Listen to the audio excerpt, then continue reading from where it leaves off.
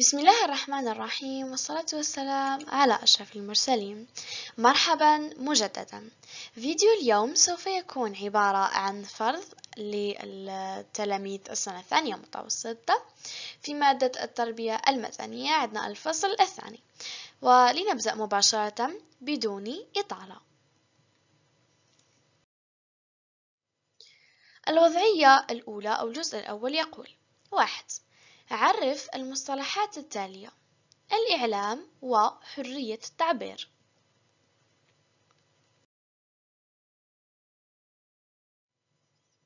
ثانيا حدد الأهمية الثقافية والاجتماعية للإعلام.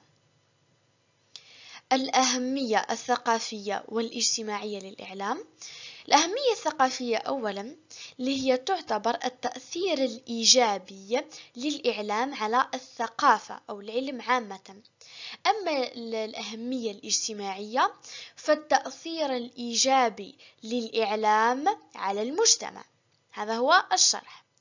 ثالثا ما الفرق بين الإعلام الخارجي والإعلام الداخلي؟ هنا من الاسم نقدر نفهم الفرق. رابعا صنف في الجدول الموالي أنواع وسائل الإعلام والاتصال. هنا لدينا مجموعة من أنواع الإعلام والاتصال سوف نصنفها. أولا إلى وسائل إعلام سمعية بصرية أي وسائل إعلام نستطيع أن نسمعها وأيضا أن نراها. و أيضا لدينا وسائل إعلام مكتوبة أي نستطيع أن نراها ووسائل إعلام مباشرة. مباشرة. يعني المستمع والمتكلم آه، يقومون بهذا الإعلام هذا أو المتكلم يقوم بإيصال المعلومة للمشاهد مباشرة يعني في هذا الوقت أو في هذا الوقت المحدد. الآن نقرأ أنواع آه، وسائل الإعلام والاتصال الموجودة لدينا لدينا الصحف.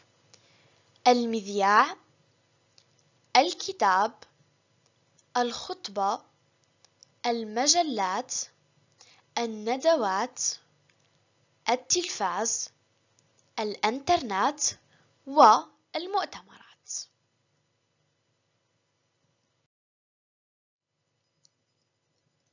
الوضعية الإدماجية نبدأ أولا بالسياق. دار نقاش بين شخصين حول حرية التعبير حيث اتفقا في تعريفها غير أنهما اختلفا في إبراز أهميتها فطلب منك المساعدة.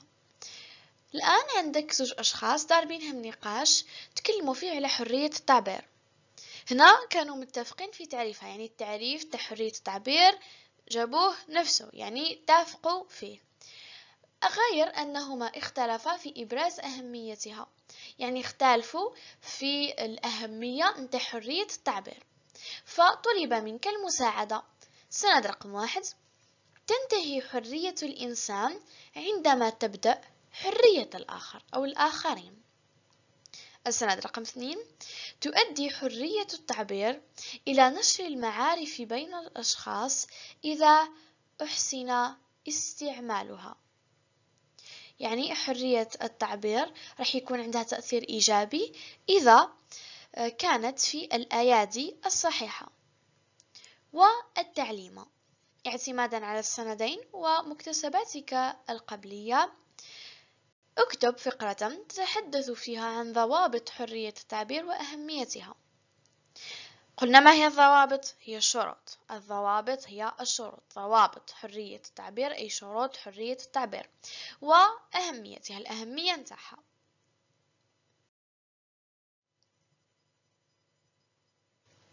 الإجابة. الجزء الأول واحد عرف المصطلحات التالية. الإعلام وحرية التعبير. الإعلام هو نشر الأخبار والحقائق والآراء والأفكار والمعلومات بين الناس بمختلف الوسائل المتاحة. هذا بالنسبة للإعلام. الآن عندنا حرية التعبير. حرية التعبير هي قدرة الشخص على التعبير بأية وسيلة عن آرائه وأفكاره وتلقيها وإذاعتها بكل حرية. هي بأنه الشخص يكون عنده حق أو قدرة على التعبير على الرأي تاعو أو الفكرة تاعو بأي وسيلة وأيضا تلقيها وإذاعتها بكل حرية لدينا ثانيا أهمية الإعلام ما هي الأهمية؟ الأهمية ببساطة هي التأثير الإيجابي هي ماذا؟ هي التأثير الإيجابي أي بكل بساطة التأثير الإيجابي أي الإيجابيات. الآن قلنا أولا أهمية الإعلام ثقافيا. ثقافيا فيما آه، يخص الثقافة العلم عامة. إذا وش هي الأهمية نتاعو؟ أو التأثير الإيجابي نتاعو في الثقافة. أولا توعية المواطنين. ثانيا التزود بالمعارف والمعلومات. ثالثا عرض المواهب ورابعا الإشهار. عندنا توعية المواطنين التزود بالمعارف والمعلومات عرض المواهب والإشهار. الآن نروح الاجتماعيا. باء اجتماعيا الأهمية نتاع الإعلام قلنا وش هي الأهمية؟ هي التأثير الإيجابي. يعني وش هو التأثير الإيجابي اللي يقوم به الإعلام اجتماعيا معناها في المجتمع؟ أولا تقوية العلاقات وسهولة التواصل التعبير عن الرأي ومتابعة أخبار العالم. يقوي العلاقات ما بين الناس ويسهل التواصل وخاصة إذا كان عن بعد والتعبير عن الآراء يعطي الناس الحرية للتعبير عن الرأي تاعهم وهذا أكيد يكون بشروط. وأيضا يخلينا أن نعرف الأخبار نتاع العالم أو الأحداث اللي تحدث في العالم. إذا عندنا تقوية العلاقات سهولة التواصل التعبير عن الرأي متابعة أخبار العالم. ثالثا الفرق بين الإعلام الخارجي والإعلام الداخلي. أولا الإعلام الخارجي هو مجموعة من البرامج الموجهة لفئات معينة من الجمهور خارج حدود الدولة بغرض تحقيق أهداف محددة. نقرأ بعد نشرحه. ثانيا الإعلام الداخلي هو مجموعة من البرامج الموجهة للمواطنين داخل حدود الدولة من أجل تعديل أو تحويل موقف فكري أو سياسي أو حضاري عن طريق إعطاء صورة صحيحة عن مبادئ الدولة ومواقفها. الآن الإعلام الخارجي والداخلي يعني في زوج هما ما هم مش هما هو مجموعة من البرامج الموجهة البرامج الموجهة. كي نقول موجهة موجهة لمن؟ كي نقولوا برنامج أو برامج. برنامج آه، برامج المفرد تاعها هو برنامج. برامج المفرد تاعها هو برنامج. مثلا نقولوا أي برنامج تلفزيوني يتفرجوه مجموعة من الناس. الآن كي قلنا يتفرجوه مجموعة من الناس هذه الإجابة متاعنا. هذه هذا هو المعنى تاع الموجهة. الآن رغم أنهم يختلفوا على بعضهم ولكنهم للزوج عبارة عن برامج وللزوج يكونوا موجهين لفئة محددة من الجمهور. الإعلام الخارجي الفئة اللي يتفرجوه الأكثر أو الهدف منه هو أنه تتفرجوا أو يتفرجوا الجمهور خارج حدود الدولة. خارج حدود الدولة يعني خارج هذه الدولة. يعني إحنا مثلا نعيشوا في الجزائر كي نقولوا إعلام خارجي معناها إعلام يروح لفئات معينة من الجمهور اللي هما خارج حدود الدولة مثلا الدول الأخرى يعني عامة. ثانيا الإعلام الداخلي. عندنا الإعلام الداخلي أيضا يستهدف مجموعة من الجمهور وهذا الجمهور من هو؟ هم المواطنين داخل حدود الدولة. الإعلام الخارجي هو مجموعة من البرامج الآن عامة يعني الإعلام الخارجي والداخلي هما مجموعة من البرامج تستهدف جمهور معين. في الإعلام الخارجي يستهدفوا جمهور خارج الدولة في الإعلام الداخلي يستهدفوا جمهور داخل حدود الدولة يعني في الدولة. وكل واحد منهم بغرض تحقيق أهداف محددة. الإعلام الخارجي عنده هدف بغى يحققه والإعلام الداخلي عنده هدف. إحنا عندنا الإعلام الداخلي وش هو الهدف منه؟ الهدف الهدف منه هو التعديل أو تعديل وتحويل موقف فكري يعني أو فكرة أو سياسي أو حضاري عن طريق إعطاء صورة صحيحة عن مبادئ الدولة ومواقفها. الآن رابعا راح نصنف هذه الأنواع تاع وسائل الإعلام وسائل الإعلام والاتصال إلى وسائل سواء إعلام آه، سمعية بصرية وسائل إعلام مكتوبة أو وسائل إعلام مباشرة. لدينا أولا الصحف أكيد مكتوبة يعني هي عبارة عن صحيفة مكتوبة. المذياع المذياع هنا نعتبروه سمعي بصري. هنا المذياع هنا وسيلة إعلام سمعية بصرية. هنا كي نقولوا سمعية بصرية مش شرط أن نسمعوها ونشوفوها يعني مش شرط للزوج لا. نقدر فقط نسمعها أو فقط نشوفها عامة.